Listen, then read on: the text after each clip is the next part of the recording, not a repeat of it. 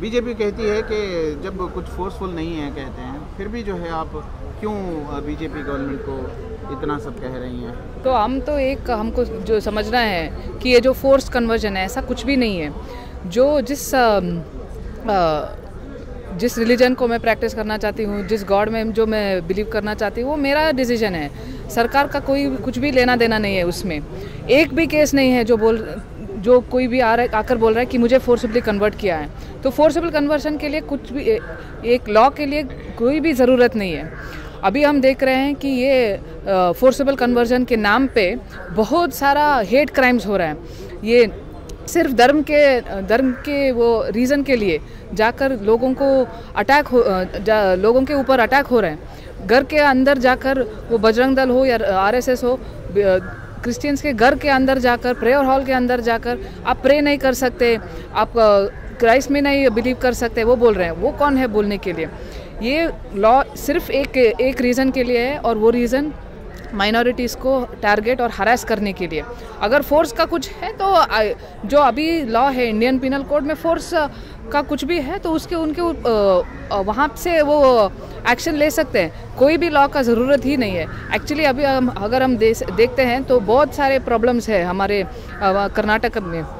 Unemployment बहुत ज़्यादा है इन्फ्लेशन बहुत ज़्यादा है। उसके ऊपर क्या सरकार कर रहे हैं? वो सब कुछ छोड़कर ये हेट रेट जो स्प्रेड करने के लिए प्रयत्न कर रहे हैं वो बिल्कुल संविधान के विरुद्ध है और उसको हम मान हम कभी भी मान नहीं मानेंगे नहीं। मैम जो एमएलए हैं जिनकी मदर ने कन्वर्ट कन्वर्शन हुआ था एमएलए का कहना है कि वो फोर्स्ड कन्वर्शन था हमने रिवर्ट किया है उनको। एक तो सबूत सामने है ना मैम? तो वो हम पूछता पूछना चाहते हैं किसी भी हम उन किसी भी उनके मदर से पूछा कि वो फोर्स कन्वर्जन था। वो एमएलए कौन है? मदर का फोर्स का बर, के बारे में बात करने के लिए यही प्रॉब्लम है। लोगों सोचते हैं कि महिला महिला को दिमाग नहीं है उनका सोच नहीं है। जो जिनको महिला जिन जिस जिन गॉड में बिलीव करना चाहते हैं क्या धर्म में प्रैक्टिस करना चाहते हैं वो कोई दूसरा आकर बोलेगा क्या?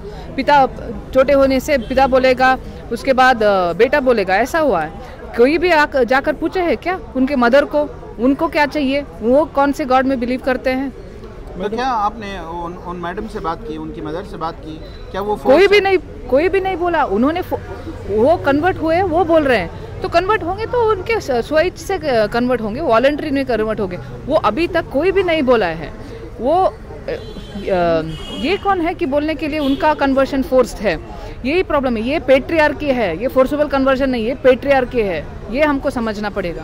ये एक चीज़ बताइए कि ये जो लॉ बन रहा है उससे क्या लगता है कि अभी तक हम लोगों ने जो हादसे देखे हैं कि लोग जाके प्रेयर के टाइम में मारपीट करते हैं ये लॉ बनने से आप लोगों को क्या लगता है और बढ़ जाएगा?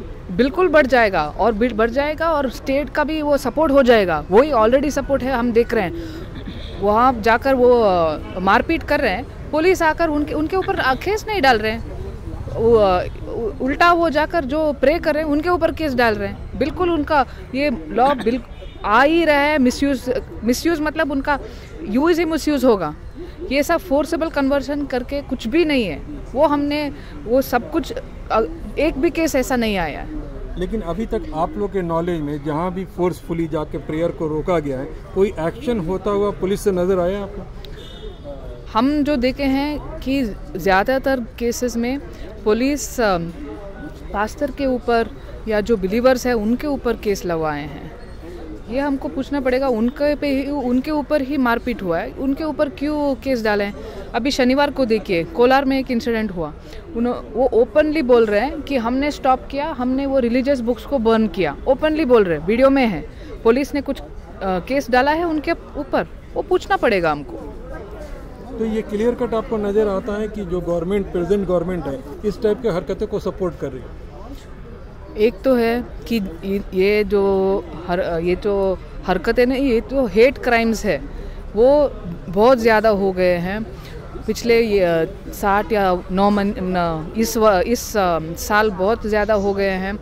मुस्लिम्स के ऊपर क्रिश्चियंस के ऊपर दलित सम दलित के ऊपर बहुत ज़्यादा हो गए हैं। और ज़्यादातर केस केस नहीं हो रहा है। अभी तक सरकार ने कोई स्ट्रॉन्ग स्टैंड भी नहीं लिया। सुप्रीम कोर्ट ने बहुत क्लियरली बोला है तहसीन पुनावाला के जजमेंट में कि ऐसा केस में सुप्रीम कोर्ट सरकार का कॉन्स्टिट्यूशनल ऑब्लिगेशन है कि वो इमीडिएटली ऐसे जो विजिलेंटिज्म जो बोलते हैं, वो कर रहे हैं, उनको स्टॉप करने के लिए उनका इमीडिएट रेस्पॉन्सिबिलिटी है इमीडिएटली एफआईआर डालना है और अगर पुलिस एफआईआर नहीं डालते पुलिस के ऊपर केस डालना है, वो सुप्रीम कोर्ट ने बोला है। पर अभी तक कोई भी इसके बारे ये सरकार इसके बारे में कुछ भी नहीं कर रहा है। तो इसलिए हम बोल रहे हैं पहला ये जो कानून है जो आप ले बिल जो आप इंट्रोड्यूस करना चाहते हैं वापस लेना है। और तहसीन पुनावाला का जो जजमेंट है तुम्बा वो उसका उसको इम्प्लीमेंट करना है। सोल्यूशन क्या दिखता है? सोल्यूशन तो मैं सोल्यूशन तो अभी है कि हम सब लोगों को एक साथ आकर सरकार को बोलना है कि आप संविधान के जो मूल्य है उनको उसको प्रोटेक्ट करो। वो हमारे पास वो वो सोल्यूशन है। सब लोगों को आकर सर, सरकार अगर संविधान नहीं मान, मानेगा तो हमको फोर्स करके संविधान मानना है हमको बोलना है। तो जो आप इस टाइप का अवेयरनेस देते हैं तो क्या पब्लिक आप लोगों के सपोर्ट में आती है? बिल्कुल बिल्कुल। पब्लिक देख सकते हैं कि क्या रियल इश्यूज़ क्या है अभी।